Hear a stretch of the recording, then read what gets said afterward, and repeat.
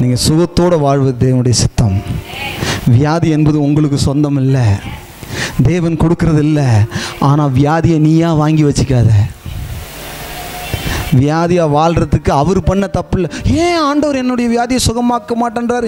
ஏன் என்னுடைய வியாதியை சுகமாக்காம சொல்லிவிட்டு உங்க உட்காந்து மணிக்கணக்காக உட்காந்து அவன் இவனை பார்த்தா அவன் அங்கே ஓடினா இவன் எங்கே போனான் வெட்டினான் கொத்துனான் வியாதி இதெல்லாம் பார்த்துருந்தா எப்படி வியாதி சுகமாகும்? உனக்கு ஆரோக்கியத்தின் மேலே ஒரு வெறி வேணும் ஒரு ஆசை வேணும். நீ வியாதியை பார்க்குறதுலே இருக்கிற கழுத்து வீங்க போச்சா?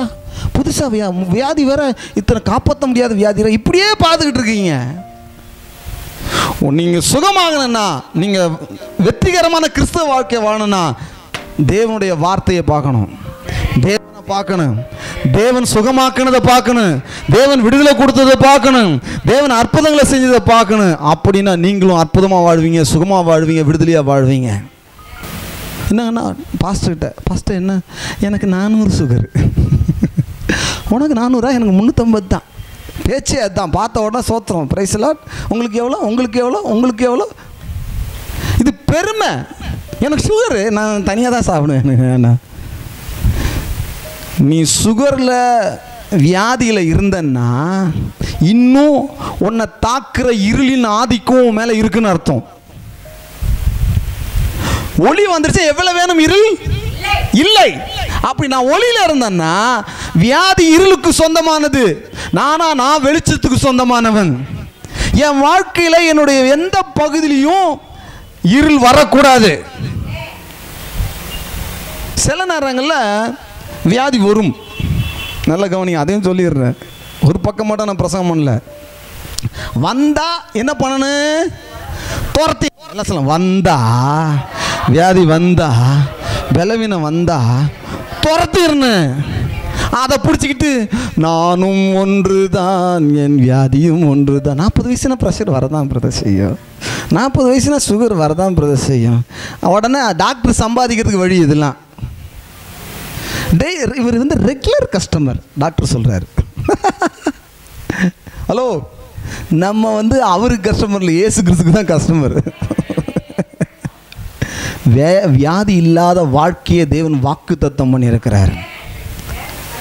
நான் படித்த ஒரு தேவ மனுஷர் இருந்தார்.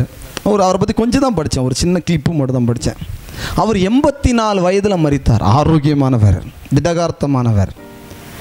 அவர் சொன்னார் பேரன் பேத்தி எல்லாரையும் கூப்பிட்டாரு. எல்லாருக்கும் விருந்து பண்ணார். கேட்டாங்க என்னப்பா என்ன விருந்து? என்ன விஷயம்? நான் இன்னைக்கு பரலகம் போக போகிறேன் அதனால் லாஸ்ட்டாக உங்களோட சேர்ந்து ஒரு மீல் சாப்பிட்லான்னு இருக்கிறேன். எல்லாருக்கும் தலைமையில் கை ஜோம் பண்ணார். எல்லாரும் ஜோம் பண்ணார். உட்கார் எல்லாம் சாப்பிட்டாங்க சூப்பராக போச்சு. உட்காந்தார் சேரில் உட்காந்து நான் பரலகம் போக போகிறேன் பாய் பாய் ஐ மிஸ் யூ அப்படின்னு கண்ணா முன்னார் இறந்துட்டார். எப்படி இருக்கணும்னு நினைக்கிறீங்க? வாழ்க்கை எப்படி இருக்கணும்? ஓடுகிற வரைக்கும் ஓடணும். வேலை செய்கிற வரைக்கும் வேலை செய்யணும். ஊழியம் செய்கிற வரைக்கும் செய்யணும். என் ஊழியம் முடிஞ்ச உடனே ஆண்டவர் I am okay all right ரெடியாக இருக்கிறேன். டப்புன்னு போயிடணும். ஐயோ எனக்கு பயமா இருக்கு. எனக்கு சாவ விரும்பல. எனக்கு பயமா இருக்கு. இப்படி இல்லை. ஏன் பயமா இருக்கு தெரியுமா? பழைய காலத்தில் கடந்த காலத்தில் விதைச்ச அந்த விதைகள்லாம் மண்டையில் வேலை செய்யும். எப்போ உன்னுடைய வில் பவர் இருக்கு? நல்லா கவனிங்க. நான் ரொம்ப முக்கியமான விஷயம் பேசிக்கிட்டு இருக்கிறேன். உங்கள் வில் பவர் இருக்கிற வரைக்கும் நீங்கள் பார்த்த சினிமா உங்களை பாதிக்காது.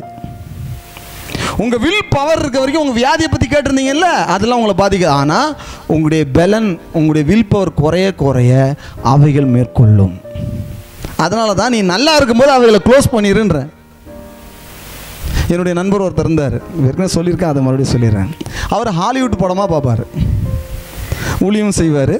நல்லா தெரியும் நல்ல மனுஷன்தான். ஆனால் அது ஒரு பலவீனம் அவ்வளோதான் ஆனால் அவர் சொல்ல இதெல்லாம் ஒன்றும் பாதிக்காது பிரதர் ஒன்றும் செய்யாது பிரதர்னாரு கரெக்டாக அஞ்சு வருஷம். கழிச்சு சொல்கிறாரு பாஸ்டர் நீங்கள் சொன்ன மாதிரி தான் இப்போ எனக்கு பயமாக இருக்குது என்ன பயமாக இருக்குது? அந்த ஹாலிவுட் படத்தில் பார்த்த உருவங்கள்லாம் நைட்டு வந்து சொப்பனத்தில் தொந்தரவு பண்ணுது. புரியுதா? இப்போ ஒன்றை பாதிக்காமல் இருக்கலாம். சினிமா பாவம் இவையெல்லாம் பாதிக்காமல் இருக்கலாம். ஆனால் ஒரு நாள் நீ பலவீனப்படும் போது அவைகள் உன்னை பாதிக்கும். அதனால தான் சொல்கிறேன் நான் இருக்கும்போதே இயேசு பக்கம் திரும்பிடுங்க அவருடைய வார்த்தை பக்கம் திரும்பிடுங்க அவருடைய வார்த்தையை எடுத்துக்கொள்ளுங்க. அவருடைய வார்த்தையை விசுவாசிங்க. இதை படிக்கிறது ஒரு பழக்கமாக்குங்க. அறிக்கை பண்ணுறது ஒரு பழக்கமாக்குங்க. அந்நிய பாஷை பேசுறத ஒரு பழக்கமாக்குங்க. ஷபர் ரக்கா ஷிக்கி